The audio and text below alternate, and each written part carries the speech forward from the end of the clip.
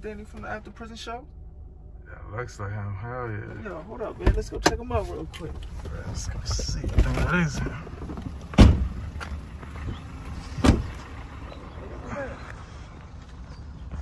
Yo, let me ask you a question real quick. Yo, you Danny from the After Prison show? Yeah, what's up?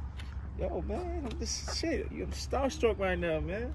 Yeah. Yeah, you know, uh, we first one. Let me introduce ourselves, man. We're bloggers, man. Yeah. Um, you know what I'm saying? We uh, we make videos and shit and all types of um, Content, yeah, on the shit, on man. YouTube and all that, man. We just recognized we wanted to Really? see what's up. How you been, man? trying to hide. After that bad last experience with Joe, you know, switching things around, making himself look great. He's the king and all this, and he's wonderful, and oh, he's nothing but a lying thief, robbing, using people to make money. You know? Yeah. That's why I stepped away. You know, but um, I love my fans. I miss them. I just wish they knew the story. I Mm. just lately been doing quite a bit, you know, It's trying to get life together. Hey, Continue. man. We would love to see if you you know you wanna come along and do a couple videos with us. Yeah, man. Just get the story correct, man. You know the YouTubers, you got you got a lot of fans out there that miss you, man. Uh, I- Yeah. It'd be a How blessing, long you guys been doing this? We've been- doing it for a couple years. We just started Oh. out, but um, you know, we're trying to get the ball rolling. Really? And shit, we get you on the on the on the team. I'll tell you what. For real, man. I'm Feel like bless it'll- you. I'm gonna bless you because this gives me an opportunity to tell my viewers and those what really went down between me and Joe. So where you at? Let's get going. Yo, let's get let's it get it, popping. man. Good Okay. shit. let's do it, man. Let's get it popping. Let's get it. How you doing?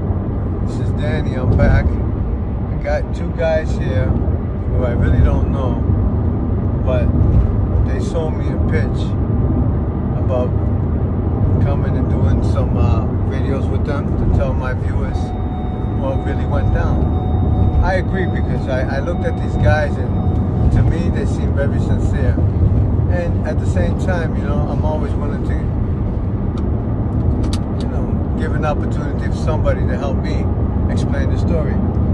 What I want to cover today is a few things. Um, number one is pretty much the basic what went down. Uh, I believe that uh, it needs to be told. Uh, the second thing, I want to cover a few, covering the same subject of what I want to talk about Joe, what really went down, but with other people involved and um, how that went down what I'm really want to do is, and it's much very important, especially for all the viewers and those new that's coming on, that you you have to understand the individual's behavior and his motives as to why he wants to help Danny out. He figured he can make me put me up on a, a pedestal, make money, and then turn around, reverse it to continue a story so he can continue his income by flipping the script, meaning changing the story. Danny did this, Danny did that. Danny was gonna beat me up. But anyways, after this video, you'll have some concept as what we wanna, well, what I wanna really convey to my to everybody. Um, and of course, we have many more. We have many more coming. So stay tuned. Thank you. I'm glad you come back to see me. I love you. Peace out. Stay tuned. Thing is this. Um, when I first got out of prison, I met Joe. I didn't want to do it. I, I did. It's not the point because I had just come out of prison and I, I I just don't want people to know. I, I just wanted to live under the grid quietly. Nobody knows who I am. You know, after serving a lot of time and, and being labeled, I just wanted to disappear from publicity and everything and people. Um, I got my fame through crime, of course, newspapers and stuff like that, and I served time. And I'm just tired, and I got tired, and I didn't want to do it. Joe convinced me, and simply, you know, real simple tactics. Yeah, I got some money for you. I can help you out. Are you hungry? Let me take you here. Now, granted, I was homeless, but I always was able to survive. I'm a, I'm a, I'm a survivor. I'm a street guy. But Joe made it easy. He just happened to be there. Actually, he went to. Uh, they have a a, a, a rally that they get together for ex-felons, and they got all types of business, and they offer opportunity for work, a job fair. That's what it's called. And so I happened to be at this job fair and he was there. Now I didn't know he had a recorder. He was recording me with it just because I didn't know about technology with this little camera that I didn't see. Because I was surprised when he put it on the video. I said, "We, how do you how do you get this when we first met? I didn't see your camera." I said, "No, I had it because he to go to the job fair. They know them and they don't want them there.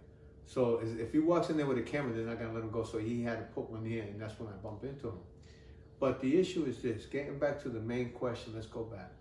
Joe helps out people, and the only reason he does it is because he makes a big profit off of each people that he works with. You know, he claims he's helping, but what he's doing, he's using them as to make a profit.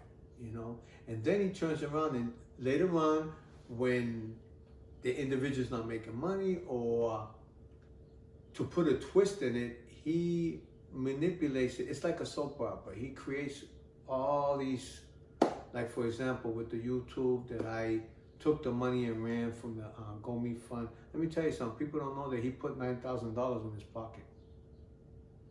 Okay, and I got really very little of it. And the money that I used it, I used it on the family because it was my first Christmas in forty years that I spent.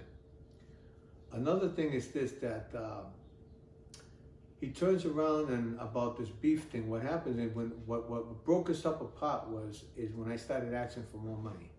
I see that he was living comfortable, and I was just I wasn't even barely making it, you know. And when I started pushing up on the money issue, he turned around and said, "Okay, we do 50-50. I said, "No, we can do. I'll take 40 because of course we got to put back for equipment, supplies, you know. So we have it everything was cool. Uh, two weeks later, actually, when it was time to pay for that month to give me my money when he collects his, he pretty much told me to hmm, go kick rocks. So that's what started the problem. I tried to talk to him. I tried to negotiate with him, and then I asked him to take my videos down because you can't make money off of me. I'm not the type of dude to take him to court. If I took him on a lawsuit, I would win. Okay, first of all, those videos about me. He's invaded my privacy. They belong to me copyright, they belong to me, you know? And so he did, he put them up and then he came to me and talked to me and this is when the, the negotiation 50-50 happened. And when I said, okay, put them back up, this is when he went south. And then he recorded me by threatening me and doing that. So he, didn't, you know, kind of provoked me. And of course we had, you know, some type of conversation and then he records me because he wanted to go report it to the police. And all he does, if you look at his video, he's talking about snitching on people. There's somebody that dropped a letter, I know one of the videos. He sent it to police, I think a week or two later, the guy got arrested. They found out who he was. Joe, listen, let me tell you something, okay? You're no fucking killer. I don't know why you're doing a prison a prison show when you really only did like a few months, okay? And only that you got beat up by a dude named Tyson. Because you made, and you you know you did that for money. You know that was a publicity stunt. You probably didn't give, in fact, you probably, they probably they probably nailed you in bed. Okay, I mean you hang around with a guy named Gay Dave. He got it. That's a very questionable, buddy. Let me tell you something. You're nothing but a snake, and I'm not gonna use, I'm not gonna say no more. But I want everybody to know what you're really doing. Okay, you're a snake. You live off of people. You live comfortable. Listen, a guy that records his wife after she has a miscarriage, and you use that, your wife and your unborn child to make money, you're a sick mother F. You know that? You're a sick puppy. You know? To put your wife on there, the privacy and expose it. Because, and I tell you, you're living comfortable. You are living very comfortable. In fact, there was a uh, there was a video about people saying uh, the millions that you make. You know, I have a lot to tell you. I have a lot more to tell you about the situation. I even have other stories that I never told Joe. You know, stories that I know that you will like, you will love. Come on back, my viewers. I'm back, and I love you, and I want to apologize because Joe wants what the way Joe did it. He wants to turn my viewers against me so that he can take you away from me. And the reason I walked away is because the situation was going on. I want to diffuse it. My old style, I would have went and busted him up. Believe me, it was really close. I didn't, but for a piece of crap to go back to prison, for I, I, I, you know, 40 years I chose to stay out.